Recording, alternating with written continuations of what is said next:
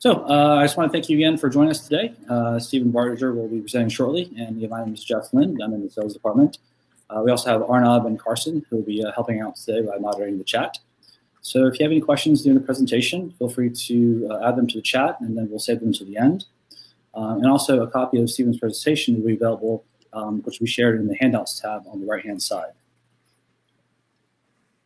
So as some of you may know, um, digital transition is made of three different divisions. Uh, DT Photo brings industry-leading photographic solutions to the world's most discerning photographers. DT Heritage is the leading designer and manufacturer of digitization solutions, including advanced copy systems, revolutionary scanning platforms, and sophisticated automation software for your collections. And finally, our services division, uh, Pixel is dedicated to delivering preservation-grade digitization services. We have established a proven track record of successful projects for our clients ranging from cultural heritage institutions to corporate organizations. We have three offices uh, located in Culver City, LA, uh, New York City, and Chantilly, Virginia. Uh, if you would like, feel free to reach out to us so that you can connect to us. Uh, social media, uh, our handles are on the right-hand side there. And of course, we have various web pages uh, with tons of info on the different projects and services that we offer. Um, remote and uh, in-person demonstrations are now available. So if you'd like to see something in particular, please let us know. Uh, we also offer equipment rentals. So if you wanted to apply the rental cost towards purchase, uh, this way you can try it out before making your final purchase decision. And uh, Carson, of course, will be uh, sharing a link uh, here shortly. And that way, if you wanted to follow us, you'll have that info. so I'd like to now introduce our guest speaker, Steven Barger. Uh, Steven Barger began his photographic career over 25 years ago before the advent of digital cameras. Using a manual film camera was instrumental, instrumental, instrumental in teaching him both the technical and visual aspects of photography. The training he received from several nationally known and respected photographers helped him develop his photographic style. Steve is very patient, takes his time to pre-visualize the image in print, waiting for the precise moment when conditions are just right to press the shutter button. He believes that it is imperative to get it right in camera and not rely on post-processing to correct for errors made in the field. He uses post-processing to produce in the final image elements that he saw at the time of capture. Due to his passion for photography and the subjects he photographs, Steve strives to produce images that are technically accurate and visually appealing. His goal is to draw the viewer into the scene so that they can experience the scene as he did at the time of capture. So without further ado, please welcome Steven Barger. Thanks, Jeff. Um, welcome, everyone and glad you were uh, able to take some time out of your busy day to attend my uh, artist talk. Uh, before we start, uh, I'd like to um, uh, extend my uh, gratitude to Digital Transitions for um, inviting me to give this artist presentation and also to Carson and Jeff for all their behind the scenes work trying to get this webinar coordinated and, uh, uh, so uh, the the talk is going to be in really five parts. Uh, first part is I'll just speak a little more about me uh, personally, uh, since a lot of you folks probably not familiar with me.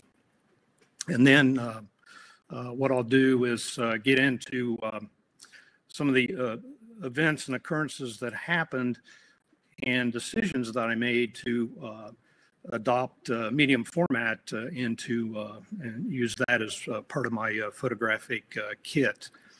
And, and then um, I'm going to talk a little bit about why I chose phase one. And then we'll go through some of the medium format equipment that I use. And then last will be, I have several images, probably 16 total, that uh, if we have time for, I'm going to go through those and I'll discuss those uh, different uh, different things about the images, uh, some composition, some technical, uh, some equipment used, just some of the, the thought process that I used when I captured the image, some things, some things such as that. Uh, so um, I hope that you uh, find this uh, presentation uh, informative, uh, interesting, and entertaining. So as um, as Jeff alluded to, I'm a nature and wildlife photographer. I've been this for over 25 years. I'm located in the um, in southwestern Ohio, outside of Cincinnati. Uh, my uh, formal education is uh, about as far from the art world as you can get.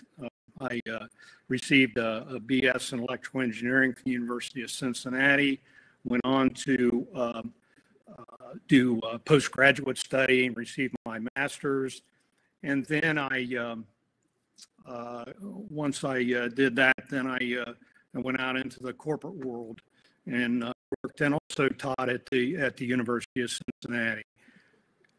And then somewhere uh, during that time period, I became interested in photography. Purchased a uh, a small uh, 35 millimeter uh, camera, had a 50 millimeter lens.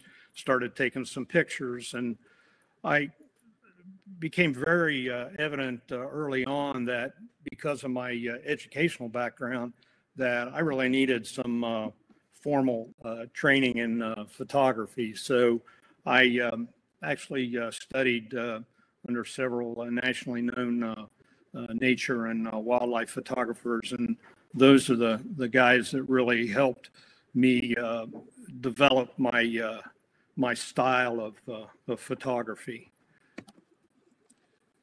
I'm a member of uh, NANPA and uh, the uh, Professional Photographers of America.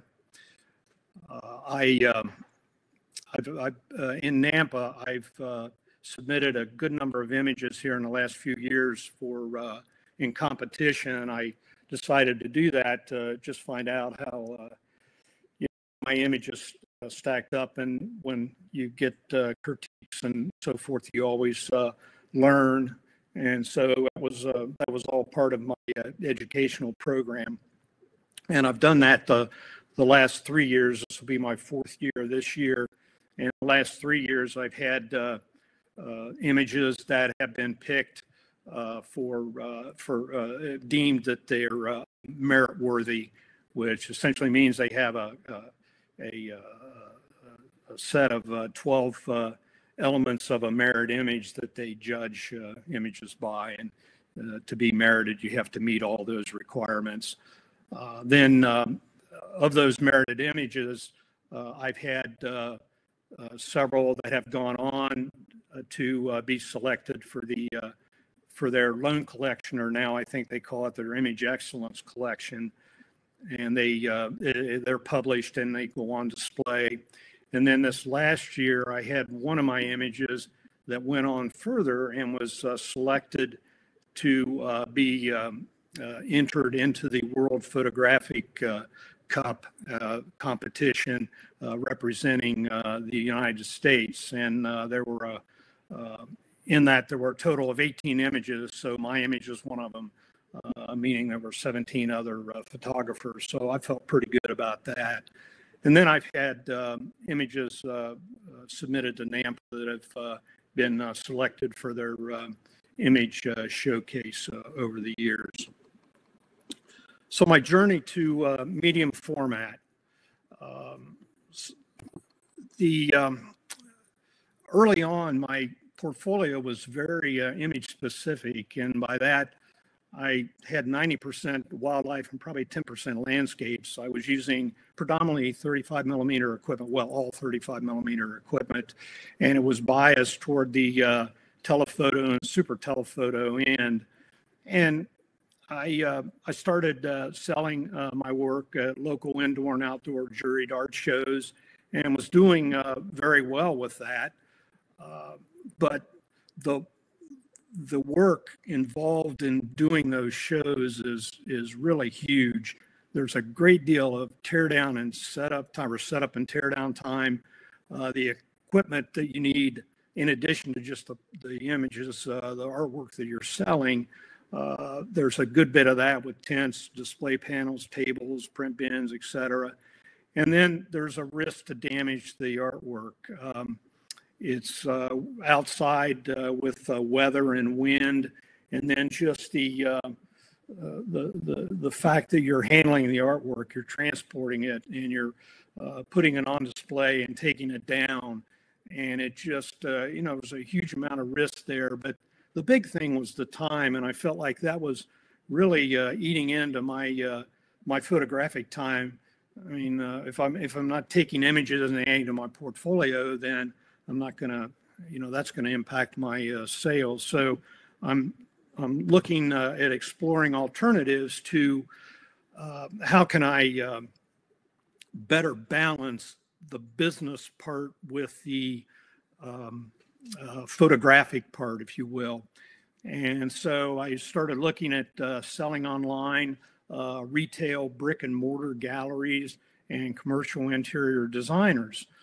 And I knew that if I wanted to go further with this, that there was a need for me to uh, better balance my portfolio so that I would have, I wouldn't be so heavily weighted in the wildlife end, but would have both uh, wildlife and uh, landscape. So I'm going to appeal to a wider uh, clientele, uh, uh, not only galleries and designers, but also the the buyers at those those businesses. So um, I decided that I was going to going to expand, and so I did and then I and we were doing well. We're kind of throttling back on our on our art shows and increasing the gallery uh, part of this. And then uh, I'm again looking uh, further down the road at uh, commercial interior designers. And when you get into that, there's a that's a whole different market, and the market to put it in one word is big. and by that I mean the, the their requirements for prints is uh, is a lot larger than what you're going to uh, would be uh, uh required uh, for a gallery or just selling online. So at that point, uh, and there were there were a few lost sales that resulted from that. so at that point, I knew that I was I was going to have to uh, adopt uh, medium format uh, in order to uh, be able to uh, satisfy that if I wanted to get into that uh, to that business. And there was uh, it's lucrative enough that that it made sense doing it. So uh, so at that point, uh, I, I knew that I was going to have to go into the medium format in. So then, why phase one? well, not being familiar with medium format equipment. Of course, I'm familiar with digital. I'm, I'm familiar with 35 millimeter, but medium format's a little different animal. And so I did a good bit of research uh, on my own, uh, reading, and uh, called a couple of uh, uh, dealers and talked to them, and really didn't quite get the response and the answers that I was looking for. So I happened to call DT and talk to Jeff and explained to him, um, you know, where I was, uh, what I was doing, and where I wanted to go. And uh, and so um, we we talked a little bit, and uh, he uh, recommended uh, uh, Phase One as a as a good match. And at the time, that was back when the IQ back had been announced, but it wasn't being released to the public just yet.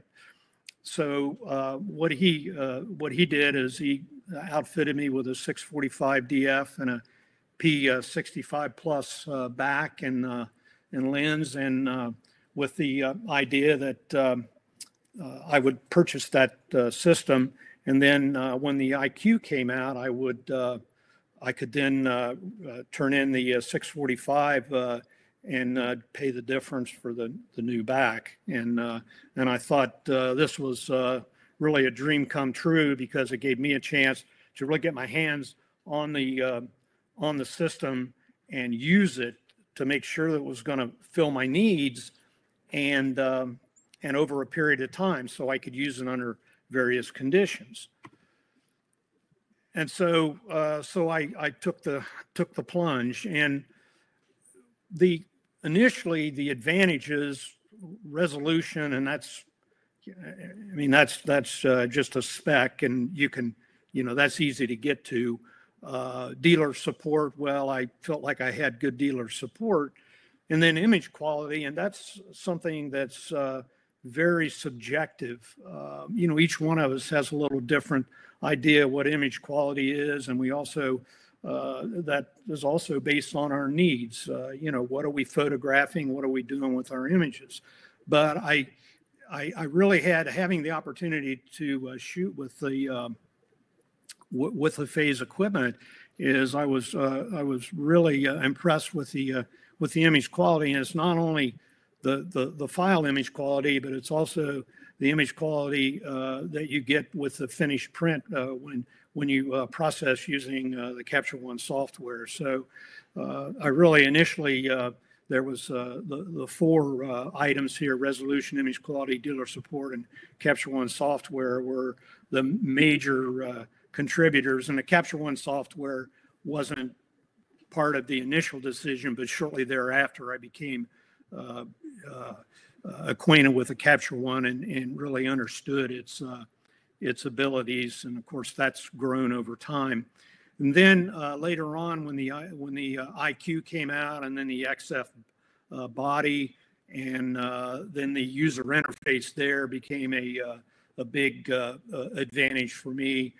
And as you'll see in a, a, couple of images that I have later on that we'll discuss, some of the older Mamiya lenses, I I really have an affinity for. And so being able to use those is, uh, is a real advantage. Uh, disadvantages, weight and uh, cost. Well, cost was relative. I mean, a business decision uh, prompted me to do this. So you're going to get a payback um, on the on your re- your return. You'll uh, so that that worked out. Uh, that was really not an issue for me. Weight coming from 35 millimeter and shooting with a, a 600 f4 lens. Um, you know, weight uh, weight uh, really didn't bother me that much either. So the disadvantage advantages for me were not really uh, an issue.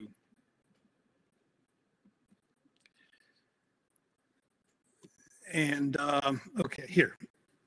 So uh, what I'm doing now is uh, I have uh, both 35 millimeter for wildlife and I have medium format for uh, the uh, landscapes, and that's really the way that my uh, photography is uh, is segmented. And marketing.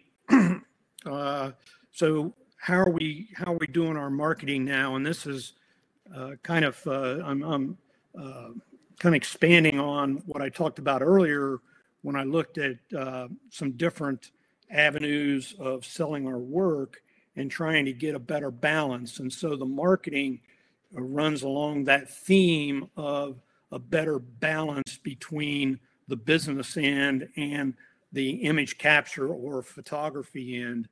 And so we have a presence on social media, Facebook and Instagram. Uh, we have a website, bargernaturephotography.com.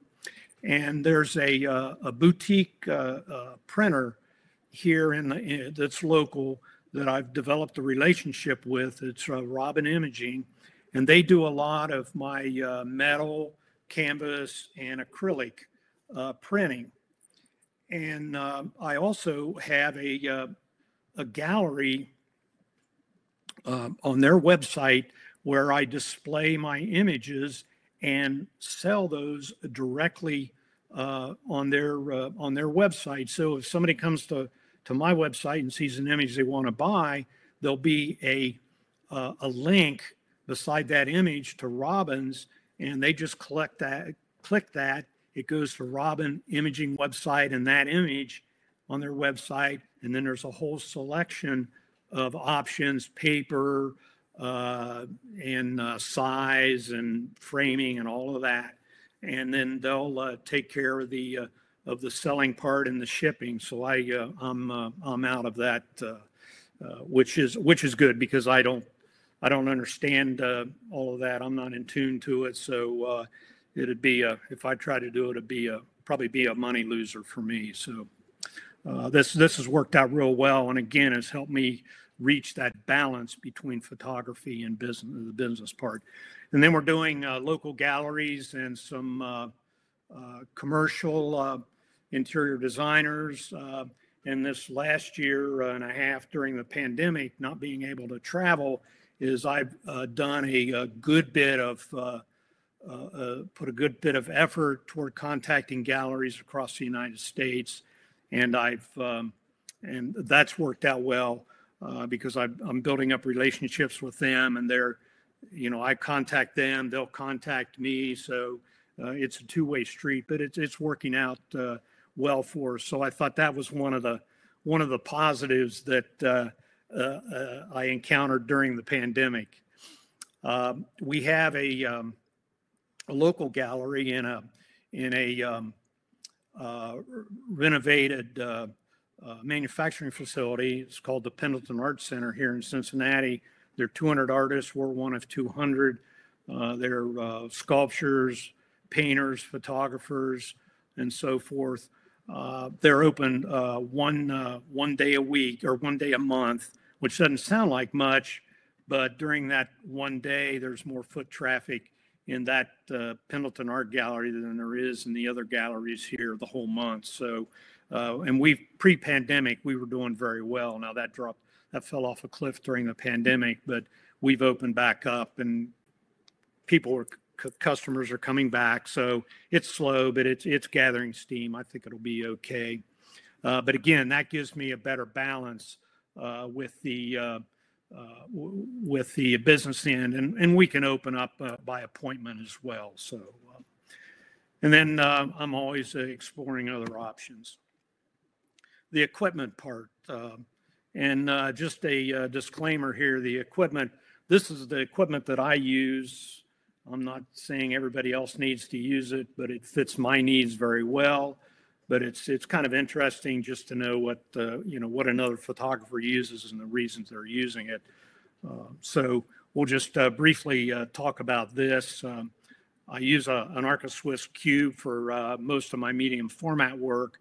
I do have a Gitzo tilt, tilt and pan head that I use to support a Mamiya 500 uh, millimeter 4.5 apo lens. Uh, that's a very heavy lens, so it needs a good platform to support it. Uh, I have a gimbal head, but that's mainly used for 35 millimeter, but I have used it on occasion with the 500, but I prefer the Gitzo. Uh, carbon fiber tripods, I have a big, uh, a heavy one and then a lighter weight one. Uh, cameras and lenses, I use uh, an XF system with an IQ 4150. That's my primary uh, for general landscape work. Uh, I, I have wide angle to, to uh, the, the 500 millimeter lens, of course, but uh, a lot of my work is focused on the shorter telephoto. Uh, and I can, uh, I feel like that gives me a, a good opportunity to op- optically extract certain segments of the scene. And we'll see some examples of that in a few minutes.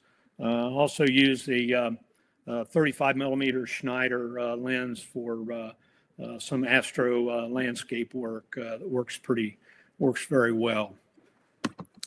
And then I'm using the XT mainly for vertical and horizontal movements. So it works well for panoramic and uh, for the uh, uh, some star trails where I can don't have to tilt the lens and and get a distorted perspective. Uh, the XT I'll use when uh, when weight does become an issue, and that's more uh, in travel. There are some trips that I take that uh, there's uh, some severe uh, weight restrictions, and that a lot of times may may affect what equipment that I take. Um, right now, the XF is my primary system, but as the XT system develops and becomes more uh, mature, um, I could, uh, you know, there's a good possibility that that may end up being my uh, my primary system. But right now, the XT is, but I, I enjoy or the XF, but I enjoy using the XT. So let's uh, let's take some time and look at some uh, some images, and all these images are uh, were taken with uh, my uh, medium format uh, system. And here's um, a um, an image I title "Above the Fog." this is was taken down in the on the foothills of the Appalachian Mountains. I have a a real, uh, I have a favorite uh, location I like to go to for sunrise. And a nice thing about uh, the area down there is it has a propensity to, uh, to fog. Uh, so uh, finding a location where you have a valley, you're overlooking a valley, there's a, a, real good chance of where you can have some early morning foggy shots. And so this image was early, early in the morning and uh, sun has uh, hasn't quite cleared the uh, horizon yet, but uh, you've got the uh, the light uh, reflecting off the clouds. It gives kind of a nice uh, uh, pink tint, and then of course with the cool blue tones in the valley, just gives a nice warm, cold contrast. I used the, a, the Schneider 240 mil lens Uh, with this to again uh, just optically extract a uh, section of the scene and uh, uh used uh, uh, an eight tenth of a second uh, shutter speed. And I'll I'll talk about that in just a second about some special techniques I use to make sure that that's good and stable. Unlike the last image, this is all all encompassing image. It's the same location, but a different, uh, actually a different trip, a different time. And uh, here you can see that the fog in the valley just really uh, has really settled in and it's uh, extremely uh, dense. Uh, but this was a, a 12 image panorama and this was pre XT. So I did this panorama the old fashioned way. Uh, again, used a, a 240 millimeter uh, lens. Uh, and uh, I uh, started at the uh, left and took a series of 12 images left to right. And each image overlapped the previous image by 50%. Um, a lot of a lot of folks will use 30%, but I found for my work that 50% works pretty good um, and uh, it uh, really minimizes the amount that you lose after stitching. Uh, and so I can uh, I can preserve uh, as much of the uh, images I've taken almost. I, I have to clean up a little bit, but it's not not very much. Um, and so this one, there was I actually took three series of panoramas for this one, starting left to right and I got to the right, and then I uh, took another series from right to left, and then went back again once more. But the uh, the first one was the one I liked the best because the second and the third, the light was increasing, and the uh, the reflection of the and the colors in the uh, fog in the foreground just weren't quite as uh, as nice. I, I didn't think. So here's the here's the, the rig that I use. This is one of my behind the scenes shots I'm going to show you. And the, the uh, 24 millimeter or the 240 millimeter lens is, uh, is, is heavy. And you've got quite a bit of weight cantilevered off of the front of the, of the uh, XF body. So uh, for longer shots, I like to use a, uh, a, a, lens bracket where I'm at uh, the uh, clamp attaches to the L bracket on the body, but then I've got a support in the front underneath the front element to support the lens. So now you've got two points of contact instead of one, and it tends to uh, help stabilize that. So for longer um, longer exposures require uh, longer shutter speeds.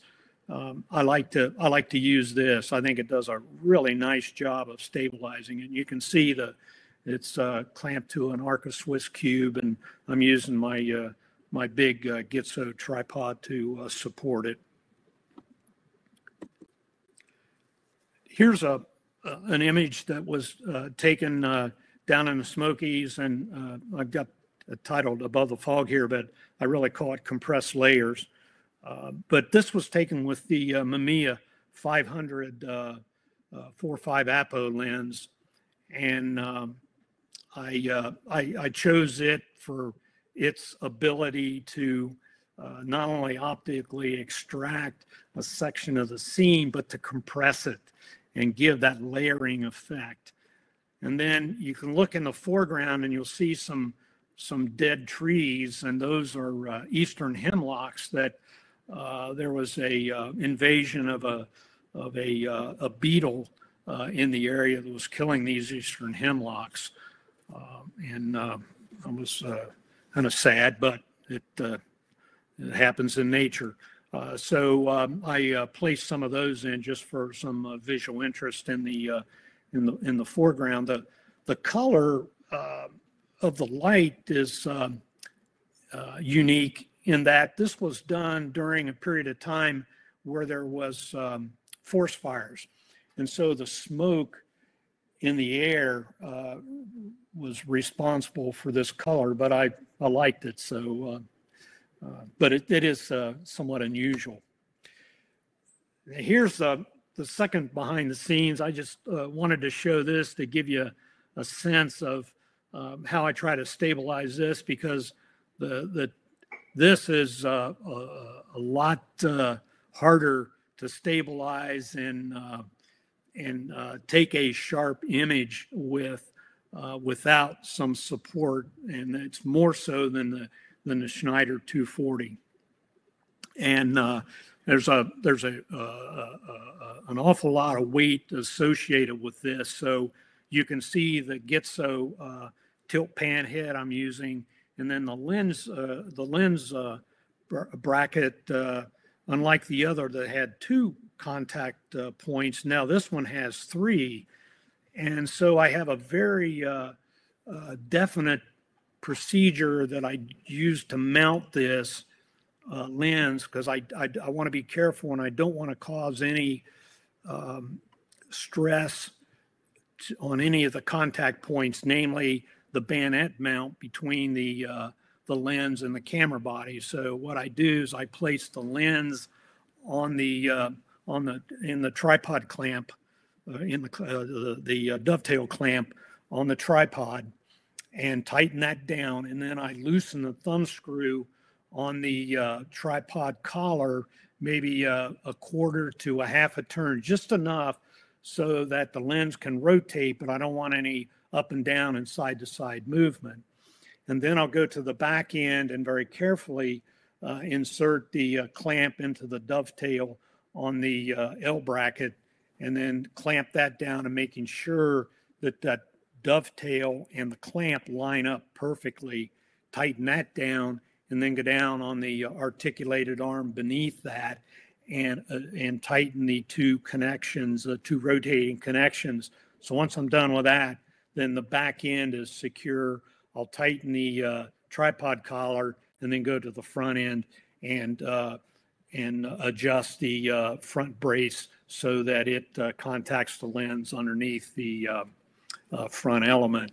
And this does a very good job of stabilizing the, the, this setup. Here's a um, a frame average uh, image that I took, and uh, there was a, a, storm that had moved through the area. It was uh, late in the afternoon, and it had, uh, of course, it, it, the, the, storm was uh, was out, so uh, out of the area, and it was getting close to sunset. So I noticed over along the western horizon that the clouds were starting to clear, and I thought that there was a good possibility that we might have a good sunset that the rays from the sun would be shining through and uh, and lighting the uh, the clouds. So I uh, I set up uh, my uh, my uh, system with a 35 millimeter Schneider lens, and I'm using the 4150. And so I dialed in an exposure for the, the frame exposure, which is the exposure that, w- that you would use if you're taking just one one image. And I got that dialed in to where I had a good exposure.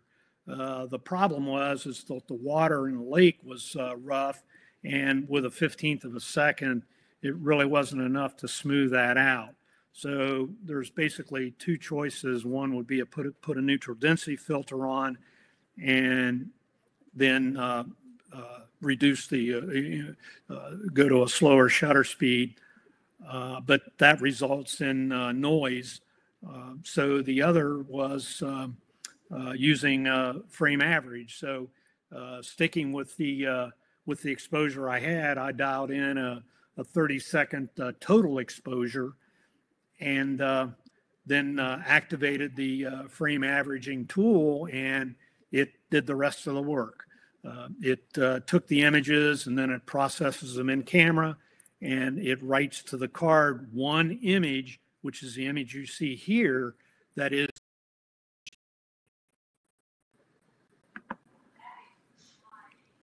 um, was I able, did you hear about the uh, the waterfall shot? Uh, you want me to go back over that? Uh, sure, if you don't mind taking from the top uh, for the uh, the waterfall shot here. I think it kind of cut out maybe about a minute or two ago, but uh, you're good now. Okay, uh, I'll, I'll go back and I'll talk about the waterfall shot here. Um, did you get the frame averaging okay, uh, Jeff?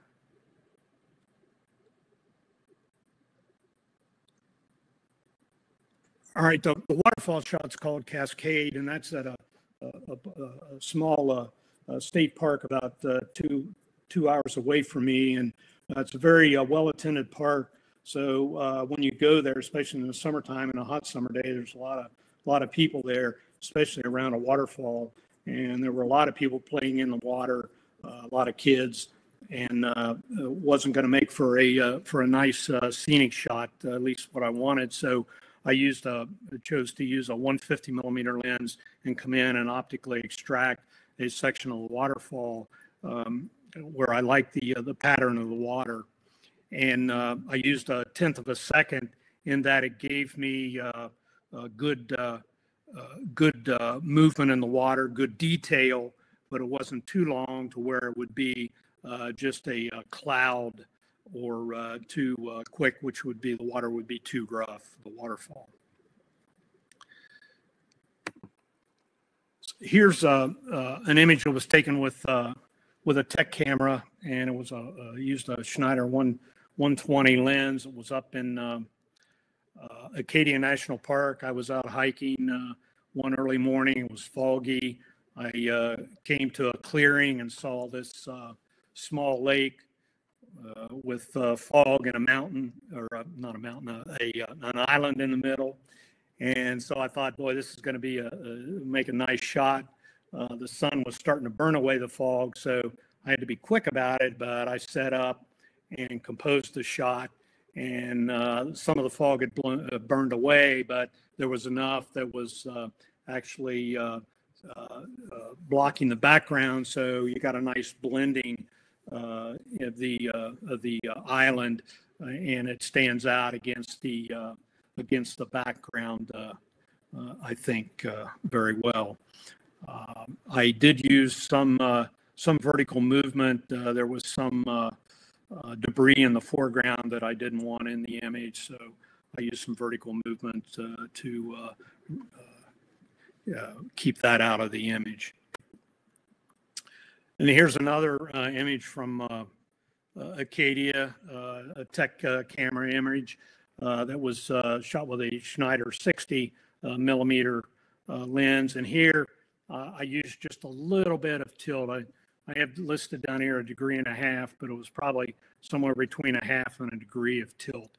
Um, I, I uh, the, the, the nice thing about this image is that the uh, the trees are back far enough that you can cover the sharpness there with a depth of field. I used F11 because I'm far enough back from them.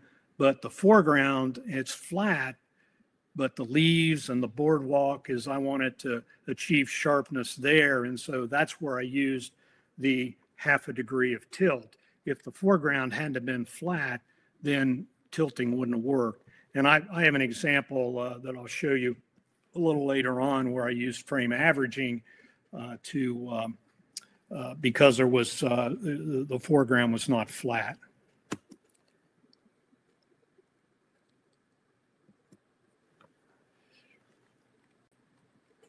So here's a, a scene up in um, uh, up in Maine that uh, was on a rainy, cloudy day, and it was um,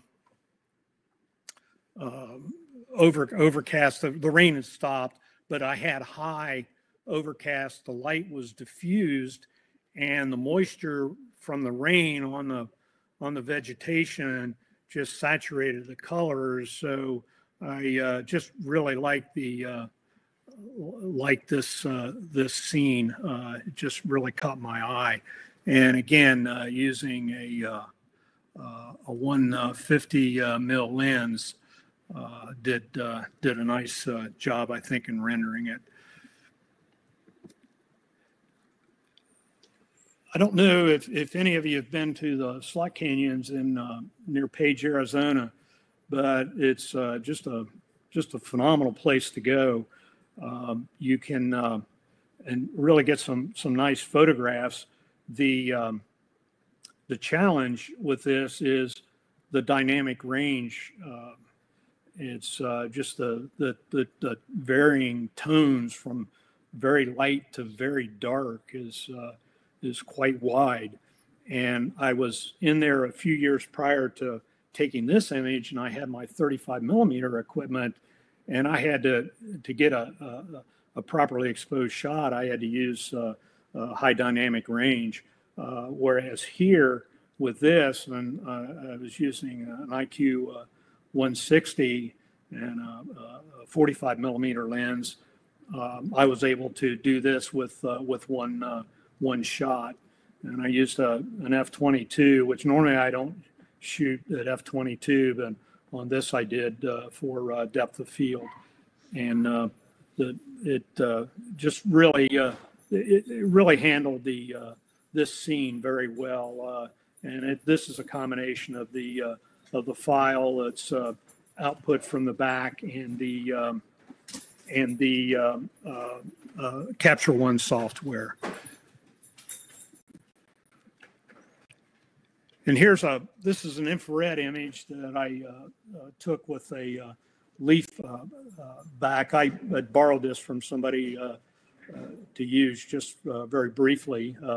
actually, I just put my memory card in, in his back and took a couple of shots. And this had been, uh, had been converted to a full spectrum uh, uh, back. And they just had the, UV uh, and IR uh, cutoff filters removed. And so you, you can uh, capture the full spectrum of, of light. and then with some filtration, typically uh, uh, a, a 720 uh, nanometer filter works well for this, and you can get some nice nice shots. this happened to uh, be uh, one uh, using using that. And I just I like the way it renders the scenes. something different doesn't always work, but when it does, it does. Here's a, a scene that I took out in in Wyoming, and we were out there a couple of years ago for the eclipse and after photographing the eclipse, uh, we had a couple of extra days before we uh, were, flying back home. So we went up to um, uh, West Thumb Geyser Basin, and I wanted to do some sunrise, uh, take some sunrise images. So uh, we uh, drove up and get up there, and it's it's a very active geyser basin. so there's a lot of steam and some fog, Yellowstone Lakes in the background, and um, so anyway, I, um, I, uh, the first thing I did was I got out of the car and kind of walked around and kind of surveyed the area to see what I wanted to what I wanted to photograph. So I'm mentally I'm uh, trying to uh, determine uh, images that are going to uh, that I can uh, potentially take. And the reason I'm doing that is that with all this steam and there's uh, sulfur and other contaminants in the air. And so I want to mount the lens on the camera in the car and not do it outside where I can open up uh, the inside of the camera and it can uh, it can be contaminated with uh, all of these uh, these chemicals. so trying to plan ahead of time, and I and I knew that the 240 uh, millimeter lens would be the the choice. So I um, I uh, uh, set this uh, it, put mount went back to the car and mounted the lens on the on the camera body and went out and uh, took several images. Uh, then when I get back in the car, I clean the you know wipe the camera body down, but uh, I, I don't want to open up uh, the uh, inside of the camera and, and subject it to something uh, such as uh, the uh, sulfur and other contaminants. Um, and what I did is when I when I set up, I just kind of left the stayed there and waited for the position of the of the steam to get in such a such a manner that uh, the composition of the scene was what I wanted, where I've got the trees that are poking through. Uh, so it took a little bit of time, not a lot, because it's it's moving uh, uh fairly uh, fairly rapidly. Uh, this is the scene I was talking about earlier with the forest path and the in the tilt and the flat foreground. And this scene does not have a flat foreground. Um, and you've got uh, leaves overhanging in the trees. You've got the rail fence, and so uh, the uh, to try to use uh, tilt on this would would not really really work. So this is a, a good example of where focus stacking uh, would uh, would take care of it. so I used focus stacking here, and and it, it, it worked well for me. Here's a uh, an image of um, out in uh, Death Valley, a place called Zabriskie Point, and at uh, Zabriskie Point, I, uh, it was uh, it was in the summer. It was in June, and it was it was hot. It was uh, very hot. It was late in the afternoon, and I'd been there photographing the patterns in the landscape. And Zabriskie Point, millions of years ago, was underwater and there were um, uh, minerals deposited uh, due to that, and also some volcanic activity that caused these uh, various uh, colors uh, to appear in the uh, in the landscape. So makes for makes for I think a real nice subject. And so I've been I've been photographing the the landscape, and then all of a sudden clouds rolled in, and the sun went behind the clouds, and uh, it was hot. Didn't look like uh, cloud cover was going to clear anytime soon. So I'm going to leave. And so I packed uh, the left the lens on the camera body, put it in my backpack, and gathered everything up. And I'm walking back to the car. And for a reason, I decided to look over my shoulder, and I see that uh, the uh, sun was uh, poking through, and I could see these rays of light. So knew I was going to have to to photograph this. So I uh, scrambled around, set tripod up, and I just took the, the camera with the lens I had on it, put it on, took a shot, and knew that wasn't the, the shot. It was too wide. So um, I didn't want to, but I wanted the shot. So I um, actually changed the uh, lens and went from uh, 35 to uh, 75 to 150, knowing I had a, I wanted a, about a 150 uh, millimeter um, uh, focal length. And so I was able to capture a couple of shots uh, this was the first of two uh, before the uh, sun went back, and it just uh, it never did come out. Of course, I didn't I didn't stay much longer. I had what I wanted, so I thought it's time to go back and get get in air conditioning.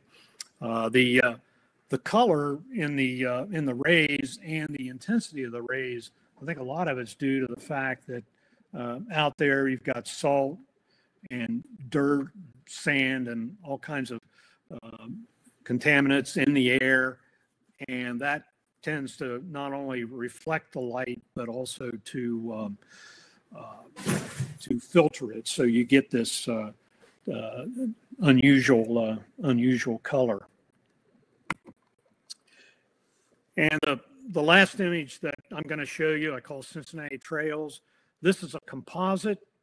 Um, I uh, so obviously it's an image I photographed locally and um, I kind of planned this image ahead of time in that I wanted the North Star above the uh, tall uh, uh, building uh, with the uh, uh, round top, the Tiara top. And so I went down with my iPhone and I have an, an app that given a, date and time, it will tell you where the position of the stars are going to be in the sky. So I could really locate where I needed to be to have the North Star over uh, the uh, Great American Insurance Company building. So I went down and did that. It's nicer to do it in daylight uh, than trying to do it at, at dark, you know, after dark. So I, I knew the location.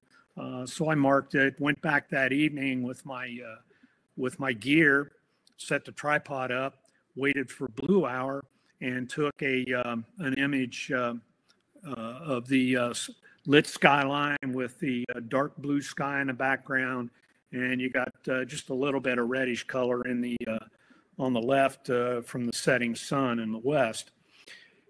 And so, uh, I took this image, left everything untouched and waited an hour and a half, came back and adjusted my uh, exposure for capturing star trails and took about an hour and a half of uh, star trail images.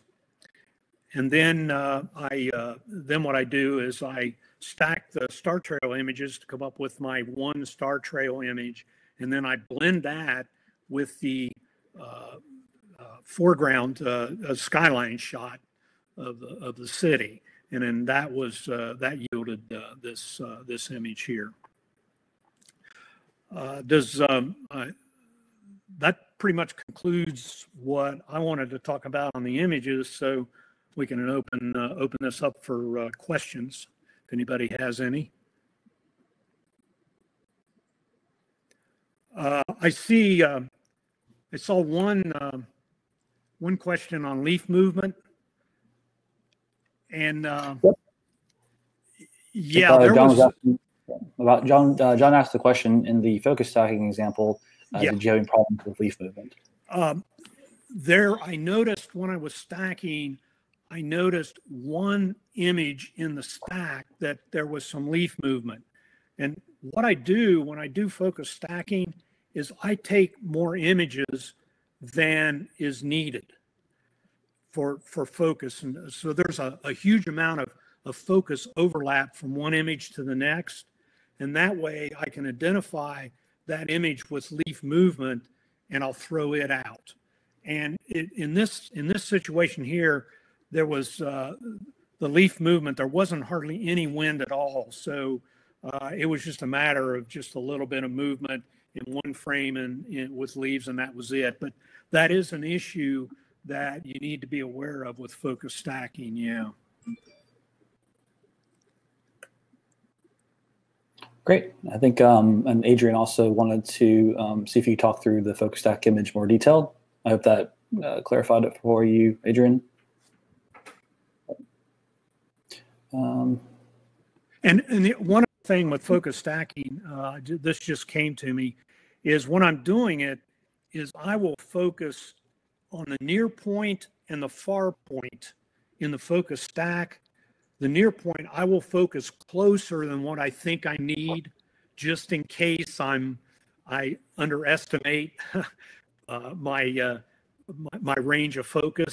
And in in the image that I had, um, it went to infinity, but let's say that I was, if I was focusing from uh, two finite points that were, uh, that one didn't uh, extend to infinity, I would go a little beyond that and a little in front of my front point, just so I'm sure that I got everything covered.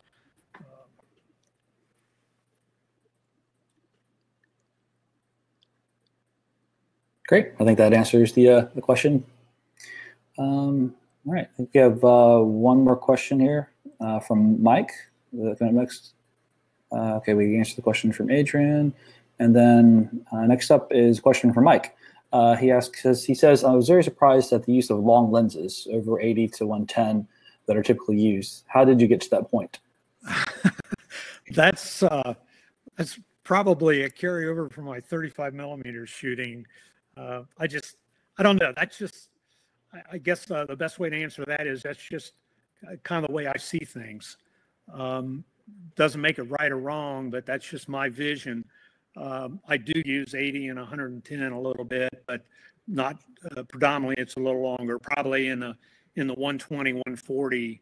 Uh, although uh, uh, I did I do with the cam, I would use a 60 or 50 quite a bit. Um, and uh, uh, but yeah, it's just that's probably the best way to answer that. It's just more my vision. All right. Sounds good. Uh, okay, we have uh, another question from uh, Nick here. Let's have it come up on the screen. Uh, well, let's go and read it out. Uh, so Nick asks, my question is about dynamic range of the Phase One gear. Uh, how much more dynamic range can you handle? For example, in the vibrant red sunset picture, did you need to use any sort of ND to prevent the foreground going to going to silhouette? No, and that is the uh, that's the advantage of using the uh, frame average. Is that um, I can, if I didn't do it, then I would I would probably use some sort of ND to bring out some detail in that in the dark area on the side. But with the uh, frame averaging, uh, I'm able to uh, retain detail so that I can uh, you know, it doesn't go black. And that, that's the advantage of the frame, uh, frame averaging. But if I, if I hadn't used that, then, uh, uh, it, um, I might have been able to uh, photograph that without using an ND, but there would have been noise reduction that would have had been implemented in the dark area, and uh, the image wouldn't have I don't think it would have been as good as it was with the uh, with the frame averaging. To be honest with you. Great. Um, so, do we have any other questions from the audience? Um, I think we answered most of the questions, but um, I guess one thing I'd like to know, I know we have uh, one more slide for you, is uh, I guess upcoming trips. You know, obviously as everything's opening up here in the States, uh, you know, everyone designed to travel with the summer. Yeah. So, uh, tell you, this is a is still getting a, a, little frustrating for me. Uh, it appears that um, uh, travel in the United States is opening up. I'm going up into Maine here in August uh, uh to do some uh, night photography, and um, so I, I, think that'll be fine. But I've got a trip to Greenland with with Phase One equipment solely, and that has been postponed twice. And I'm hoping that the, it will go this year. I've got a couple of trips into Canada, and the Canadian uh, border has not opened up yet. And I don't know whether it'll open up at the end of summer, so that's kind of iffy. And I've got a trip down into South America at the end of the year, but the way things are going down there now, is I'm not sure that that's going to open up. Uh, but um, uh, if not, I've I've got a couple of in my back pocket that I'm going to do. Uh, if I can't, if I don't make it up into Canada, I'm, I'm gonna. I, got some things I'm going to do here in the states uh, out west um, that uh, will take the place. But uh, it's it's opening up, but it's still kind of frustrating because it's it's not. They're pockets there, there are pockets that are opening up, and it's so it's it's uh, it's difficult. it's a challenge. Yeah, yeah definitely.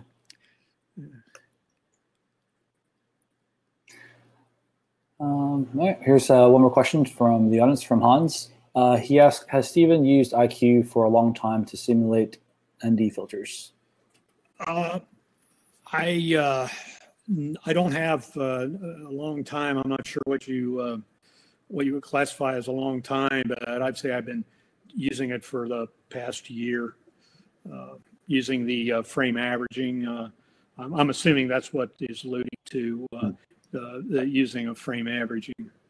Uh, so um, uh, I'd say about a about a year, a little more, maybe a year and a half. Let's say a year and a half. It, I started using it after it came out, and then um, then didn't do uh, do anything for a while and then back up in it again. So a lot of it is just uh, you know the requirements on what I'm photographing as to whether I need to do it or not. but it does. Uh, what I will say is that uh, that what I've seen so far does a it does a good job of handling uh, the dynamic range and and providing you with detail in the darker areas. Now they do caution you about uh, overexposing light areas, so you, you still need to be uh, be pretty careful about uh, picking your uh, your exposure. But uh, it does do a good job of handling handling that.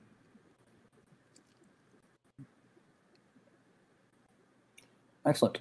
And uh, I guess I don't see any other questions for now. And uh, I guess one question I had would be um, obviously between your XT and XF. I mean, I know obviously it depends on where you're going, and um, but how do you, if you had to choose between the two, like how do you go about that whole process? A lot of that's going to depend on what I'm going to photograph and the weight that I have to uh, that I'm that I'm uh, allowed to carry uh, if I'm flying somewhere. Uh, right now, with the with the range and what I'm doing uh, the um, uh, XT uh, probably fits the bill a little better.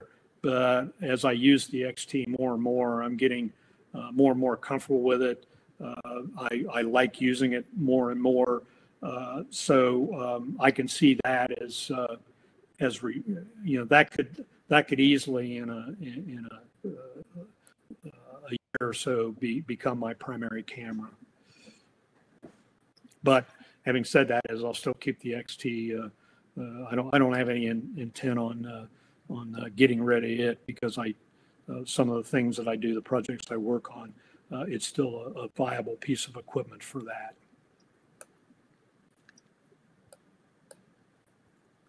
All right. Well, um, let's see here. Do we have any other? Ah, yes, we have. Uh, let's get another question here.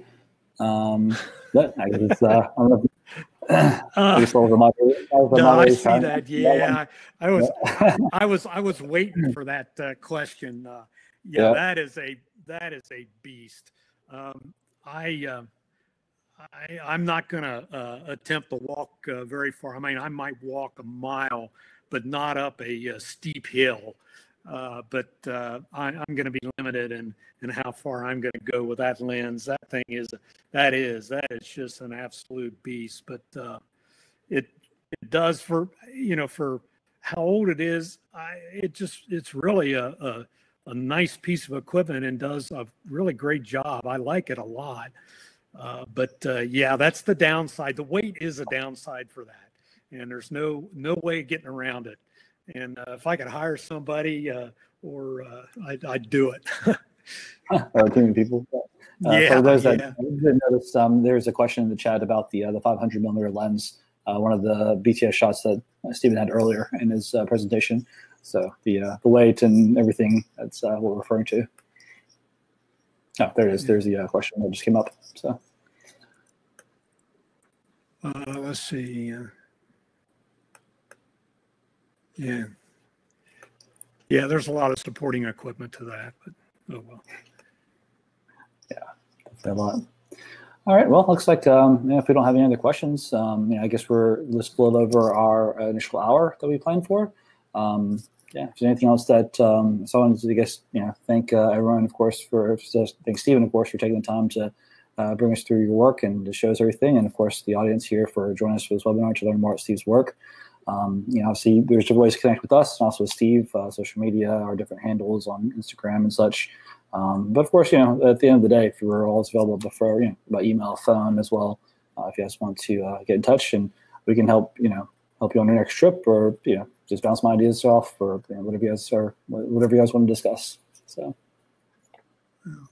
Thanks everybody. Uh, appreciate you uh, taking the time to uh, listen to me and sorry about the one little uh, little uh, loss of signal that we had, uh, but hopefully that didn't uh, affect everything too much. Yeah, and it happens, right? So yeah, unfortunately. Yeah. All right, guys. Well, we're going to close out here for very shortly. Um, and uh, again, hope you guys have a great day. Have a good rest of the summer, and uh, stay in touch. Thanks, everyone. All right.